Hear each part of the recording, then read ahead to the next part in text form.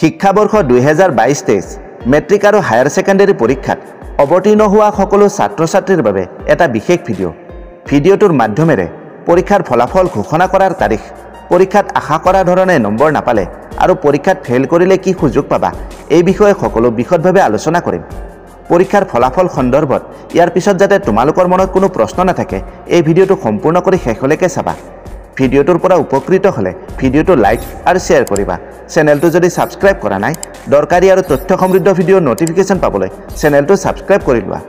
ব'লা এতিয়া মূল বিষয়কেইটা আলোচনা কৰোঁ মেট্ৰিক আৰু হায়াৰ ছেকেণ্ডেৰী পৰীক্ষাৰ ফলাফল কেতিয়া ঘোষণা কৰিব? এই দিনটোলৈ ছাত্ৰ ছাত্ৰীসকলে বহুত ব্যাকুলতাৰে অপেক্ষা কৰি আছে। এই পৰ্যন্ত কোনো সঠিক বা নিৰ্দিষ্ট তাৰিখ প্ৰকাশ হোৱা নাই আৰু ইমান আগতীয়াকৈ কোনো তাৰিখ ঘোষণাও নকৰে। তোমালোকে এইটো জানি লোৱা যে উত্তৰ পত্ৰিকা মূল্যায়ন প্ৰক্ৰিয়া এতিয়াও সম্পূৰ্ণ হোৱা নাই। কিন্তু চলিত এপ্ৰিল মাহৰ ভিতৰতে সকলো সম্পূৰ্ণ হৈ উঠিব। এইবোৰ সকলো মুকলিকৈ কোৱাটো সম্ভৱো নহয়। এতিয়া পৰীক্ষাৰ ফলাফল ঘোষণা কৰা তাৰিখৰ বিষয়ে কওঁ। সূত্ৰ অনুসৰি পৰীক্ষাৰ ফলাফল মে' মাহৰ শেষৰ সপ্তাহত আৰু জুন মাহৰ প্ৰথম সপ্তাহৰ ভিতৰতে ঘোষণা কৰা হ'ব পাৰে। এইটো এটা আনুমানিক সময়। কোনো নিৰ্দিষ্ট তাৰিখ আজি পৰ্যন্ত উল্লেখ হোৱা নাই। মূল্যায়ন প্ৰক্ৰিয়াৰ পিছৰ পৰ্যায় সম্পূৰ্ণ হোৱাৰ পিছতহে কোনো তাৰিখ নিশ্চিত হ'ব পৰা যাব। কোনো নতুন তথ্য আমাৰ হাতলৈ আহিলে ভিডিঅ'ৰ মাধ্যমেৰে জনাই দিম।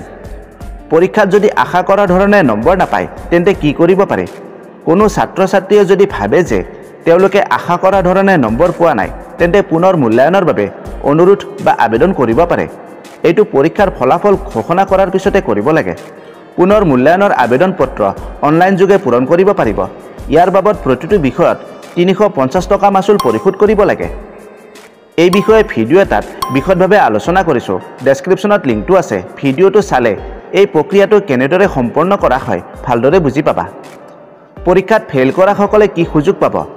মেট্ৰিক পৰীক্ষাত ফেইল কৰা ছাত্ৰ ছাত্ৰীসকলক সেৱাই কম্পাৰ্টমেণ্টেল পৰীক্ষাৰ সুবিধা প্ৰদান কৰে। এই সুযোগটো ফেইল কৰা সকলো শিক্ষাৰ্থীয়ে নাপায়। সৰ্বাধিক তিনিটা বিষয়ত ব্যৰ্থ হ'লে কম্পাৰ্টমেণ্টেল পৰীক্ষাৰ বাবে আবেদন কৰিব পাৰি। কম্পাৰ্টমেণ্টেল পৰীক্ষা জুলাই মাহৰ প্ৰথম ভাগত অনুষ্ঠিত কৰা হয়। কম্পাৰ্টমেণ্টেল পৰীক্ষাৰ চৰ্তসমূহৰ বিষয়ে এতিয়াতে বিশেষ একো নকওঁ কাৰণ এইবাৰ চৰ্তসমূহত কিছু ৰেহাই দিয়াৰ সম্ভাৱনা আছে।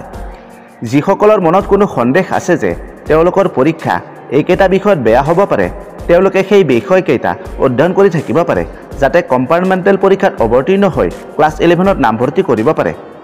তোমালোকে ক্লাছ ইলেভেনত কোনটো ষ্ট্ৰীমত নামভৰ্তি কৰিবা বা কি কি বিষয় অধ্যয়ন কৰিবা এই বিষয়ে চিন্তা চৰ্চা কৰা। দৰকাৰ হ'লে কোনো অভিজ্ঞ লোকৰ পৰামৰ্শ ল'ব। হায়াৰ ছেকেণ্ডেৰী পৰীক্ষাৰ ফলাফললৈ যিসকল শিক্ষাৰ্থীয়ে অপেক্ষা কৰি আছে তেওঁলোকৰ বাবে এইখিনি সময় অতি গুৰুত্বপূৰ্ণ। তোমালোকে এতিয়া কি পথ বাছনি কৰিবা? ইয়াৰ ওপৰতে তোমালোকৰ ভৱিষ্যত নিৰ্ধাৰণ কৰিব। সেয়েহে ভালদৰে বিবেচনা কৰি ইয়াৰ পিছৰ পদক্ষেপ গ্ৰহণ কৰিবা। কেৰিয়াৰ বিষয়ৰ ওপৰতো বহুতো ভিডিঅ' ডেছক্ৰিপশ্যনত পাবা। তোমালোকে সেই ভিডিঅ'বোৰ চাব পাৰা। আজিৰ ভিডিঅ'টো ইমানতে এৰিলোঁ। অতি সোনকালে। আন এটা আকৰ্ষণীয় বিষয়ৰ সৈতে পুনৰ লগ পাম। ধন্যবাদ।